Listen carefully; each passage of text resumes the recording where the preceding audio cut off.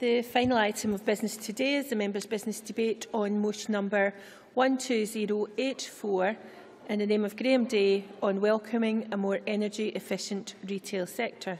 This debate will be concluded without any questions being put and I would be grateful if those members who wish to speak in the debate could press the request to speak buttons now please. I call on Graeme Dey to open the debate. Mr Dey, seven minutes please.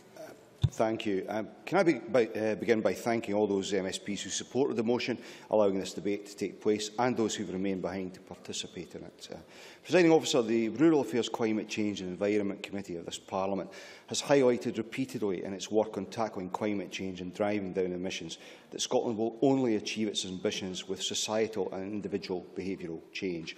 Parliament setting targets and government introducing initiatives is all well and good, But without genuine buy-in, we are up against it. And to get that buy-in, you need exemplars of environmentally responsible practice at community level, across the public sector and in the private sector. And that's why I'm pleased to bring forward this debate and commend the efforts of the Scottish Retail Consortium's membership, as highlighted in the report, A Better Climate, Driving Resource Efficiency. Because promoting good practice is an integral part of ensuring we very quickly reach the point where behaving in an environmentally responsible way is, seen as the norm, doing otherwise unacceptable. So let's look at what has been delivered by the SRC's membership across the UK and then consider what they plan to achieve by 2020. Targets signed up to in 2008 and exceeded cutting energy-related emissions from buildings by 30%, cutting greenhouse gas emissions from supermarket refrigeration by 55%, cutting energy-related carbon emissions from store deliveries by 29 per cent, cutting the proportion of waste sent to landfill from 47 to 6 per cent, and increasing water measurement in sites from 50 per cent to an estimated 83 per cent.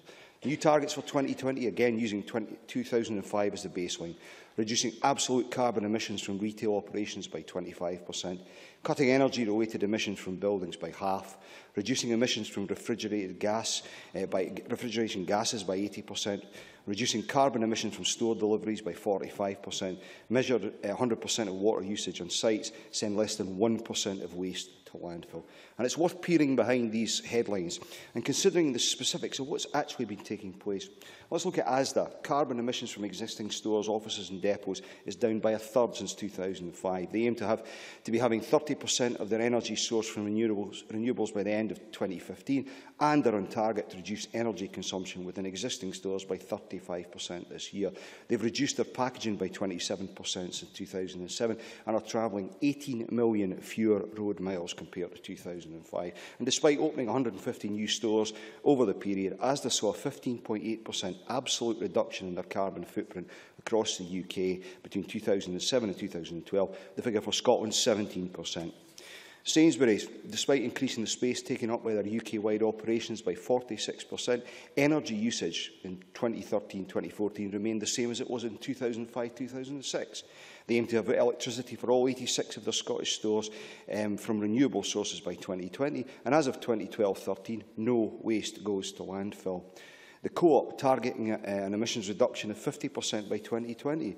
By 2013, some 98% of their electricity was coming from renewable sources, and by 2017 they aimed to have 25% coming from their own renewable resources, and that's up from 7% two years ago. The co-op discovered during a trial in 2011 that they could reduce total store energy use by 20% if they fitted doors to their fridges. 298 of these stores, including in Carnoustie and Murrayfeeth, my own constituency, now have the, that, and the figure is planned to rise to 2,000 stores by 2020. B&Q have reduced their carbon emissions by 29% since 2006 and aim to get to 90% by 2023, partly through using double-deck uh, decker trailers to reduce total road miles. Uh, Waitrose, for example, their suppliers deliver to a central hub in Cumbernauld rather than having to, to distribute products around all six supermarkets in Scotland. Greggs have installed photovoltaic systems in 10 of their bakeries, including uh, uh, Clyde Mill and Canvas Lang. WH Smith are actually sharing vehicles with other retailers. McDonald's are recycling cooking oil, turn it into uh, biodiesel for use across 40% of their fleet, which is saving around 6,000 tonnes of carbon per annum. They've also reduced uh, bun tray liners by 10%, in, 10 centimetres in size, which is saving over 85 tonnes of paper each year. And by redesigning the boxes for one of their most popular lines and the spoons given out for consuming ice cream, are saving 800 tonnes of materials every year. And can I, can I note, as the motion does, the efforts of my own constituent, Peter Stirling, who grows sprouts and strawberries just outside our Arbroath. Mr Stirling was recognised by Marks and Spencers for his outstanding contribution to sustainable farming with their Farming for the Future Future Produce Award uh, for Scotland 2014 at last year's Highland Show after he invested in biomass, bo biomass boilers for his greenhouse blocks and using innovative techniques to extend shelf life and reduce waste. And of course, tackling food waste is very much a, a further stream of work being undertaken by our retailers. If I may just highlight two examples, both involving Tesco.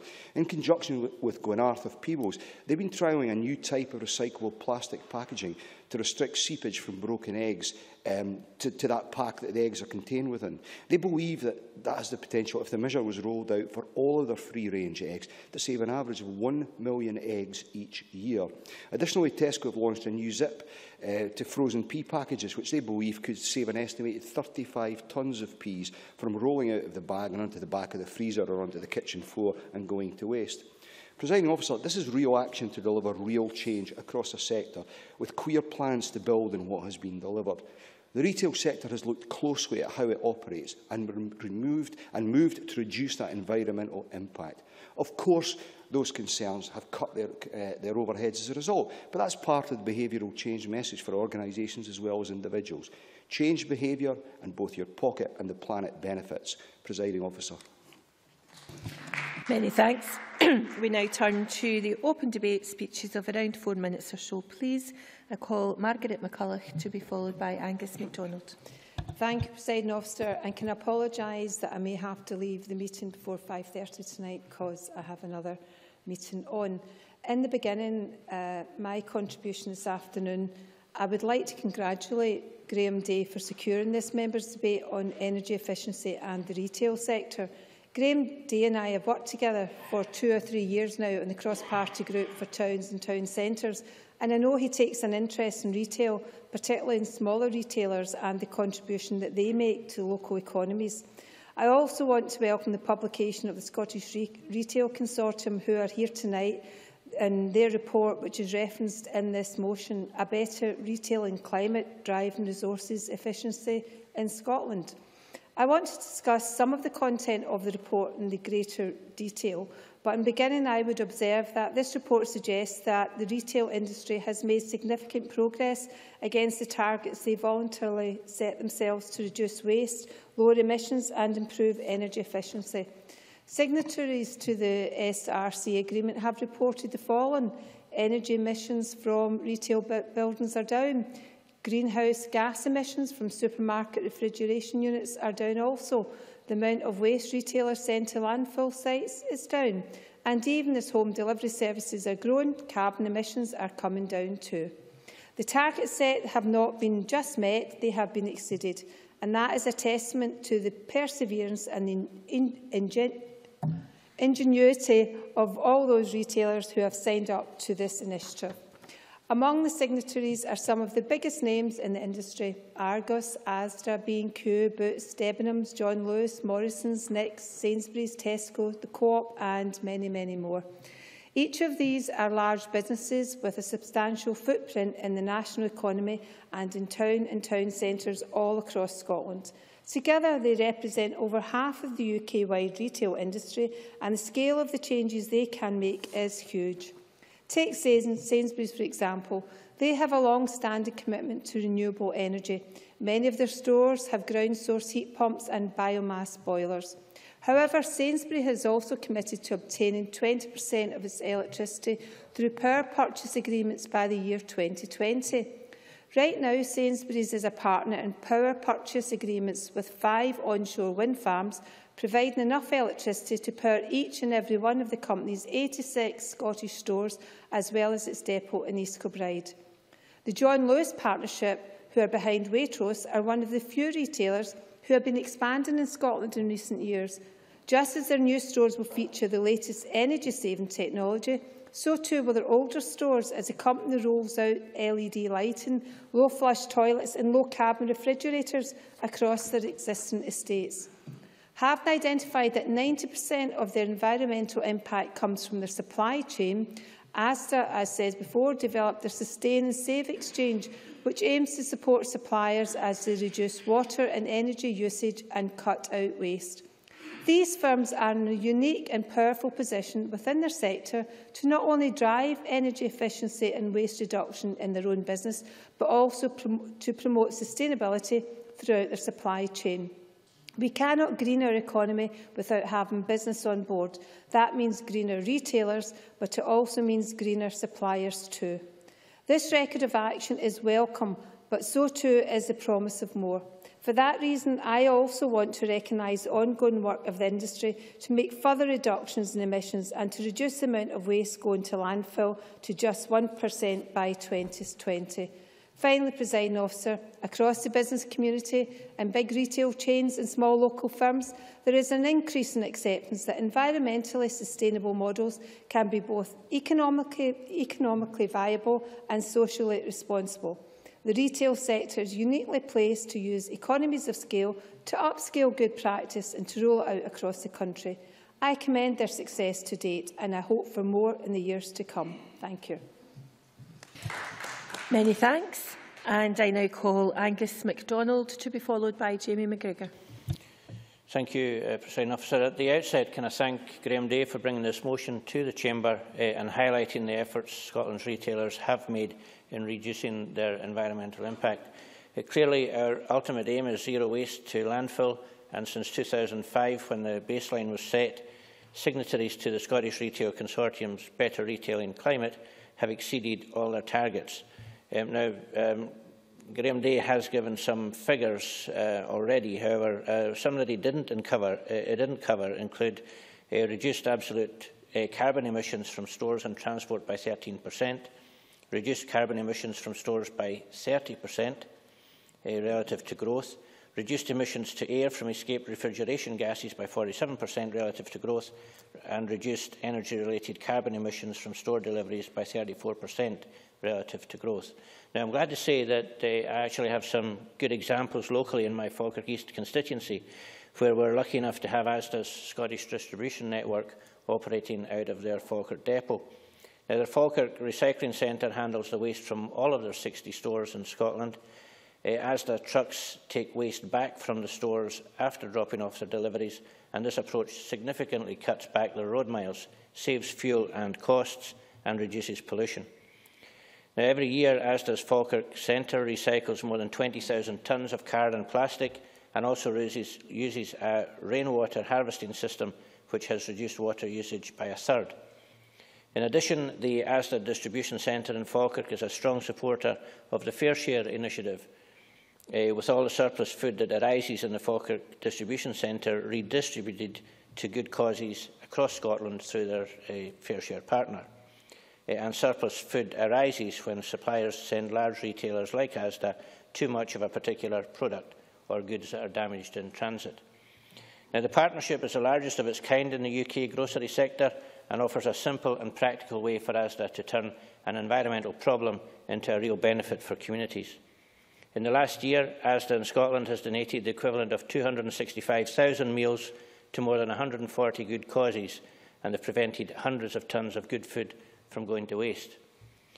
They're now collecting their suppliers' production food waste and delivering it to Falkirk to be redis redistributed alongside their own surplus food to FareShare, eh, with ASDA covering the cost of transportation and also investing £100,000 to grow the capacity of the FareShare depots in Dundee, Edinburgh, Glasgow and Aberdeen. It's also worth highlighting that none of ASDA's stores send any food to landfill as waste. If it's still good quality, it's given to charity or it's sent back to Falkirk to be processed via anaerobic digestion. So by making changes to the distribution network, such as using their new double-decker lorry trailers, they now travel 18 million fewer road miles than in 2005 and have reduced transport emissions by 60%. Their double-decker trailers save ASDA around 2 million road miles per year by doubling the amount they can carry in each journey and as a result they have been awarded the Institute of Grocery Distribution's Sustainable Distribution Award. So Asda and Falkirk's doing its bit and leading by example, and other large retailers, as we've already heard, have much to be proud of when it comes to aiming for a zero-waste society. So we all must lead by example, eh, and it's encouraging that large retailers are now considering the entire life cycle of the products they sell and are exploring new business models that will enable them to move away from a largely linear economy towards a more, a more circular economy. However, that will require a radical change to how we make, use and reuse materials and products. As our RACCE committee highlighted last year following our inquiry into the circular economy, we can all play our part in ensuring the concept of the circular economy is embedded in all our mindsets.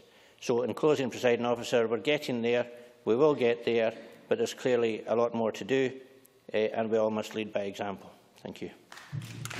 Many thanks. And our last open debate speaker is Jimmy McGrigor. Um, thank you very much.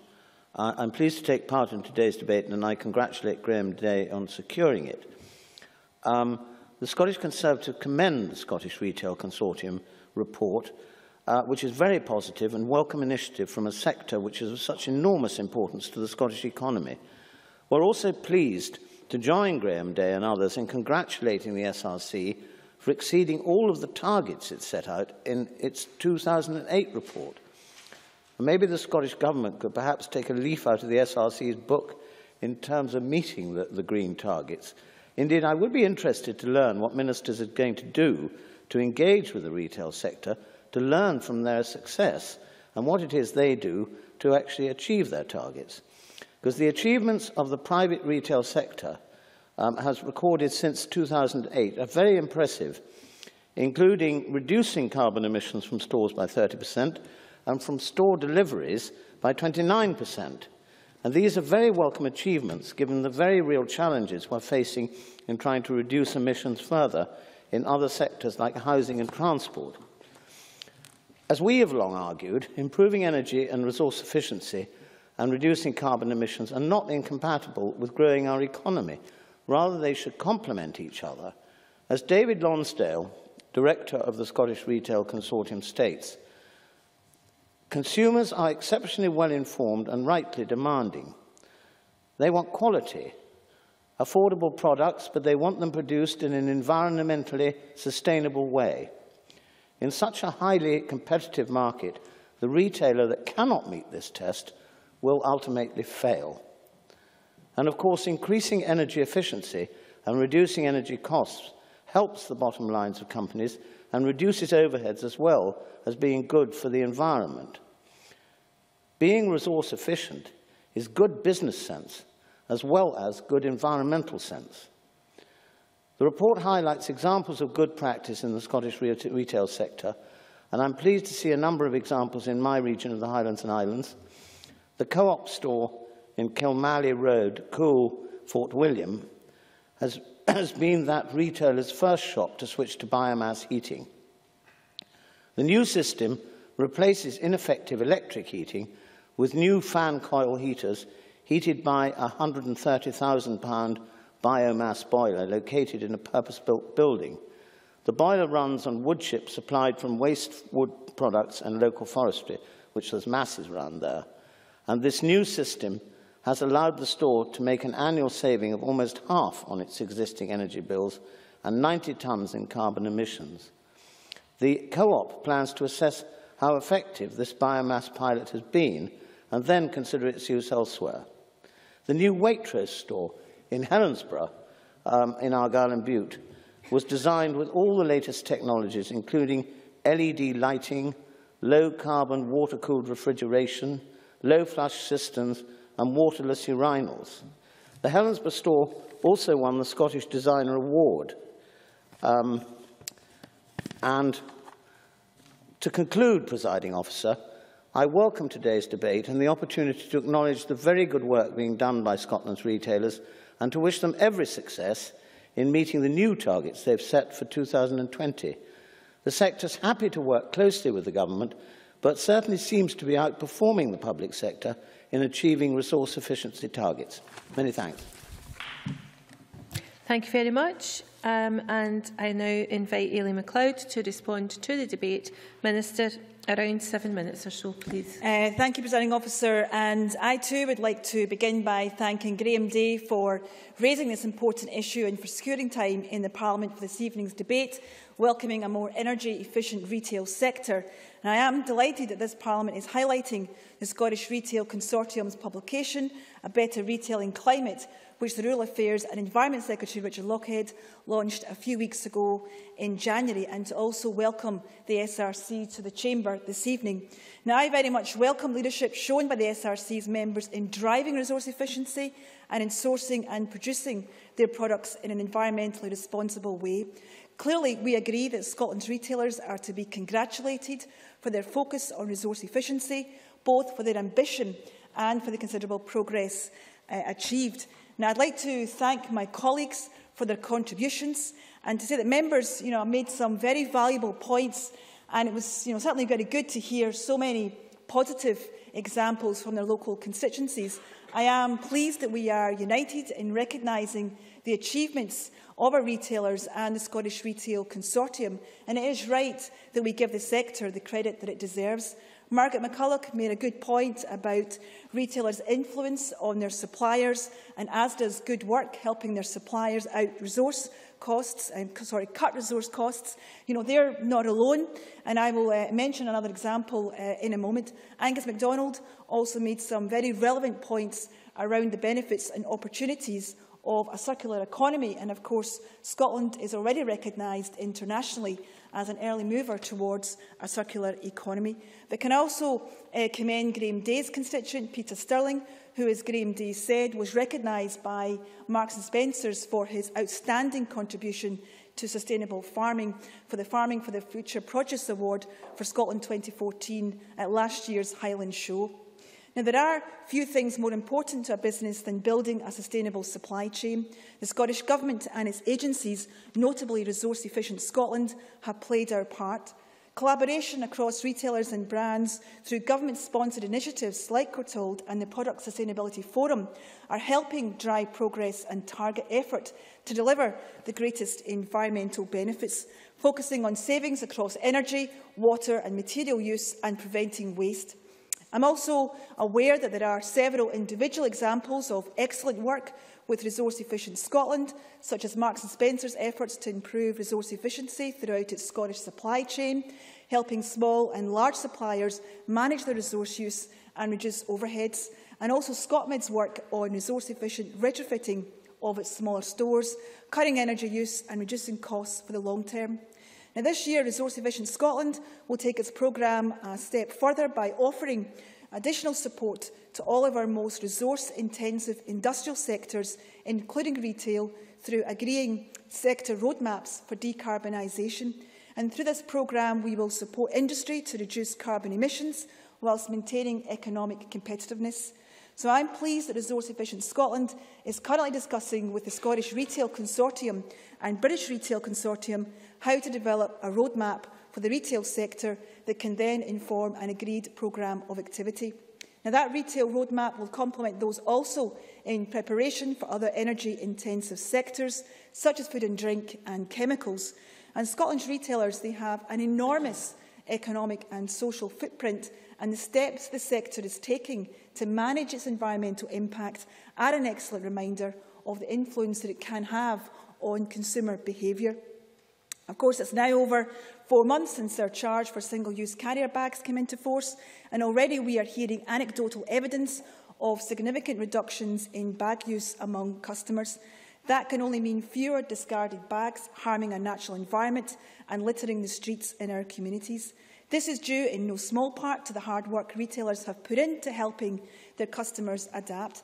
But this is just one area where retailers' influence can change Scotland for the better.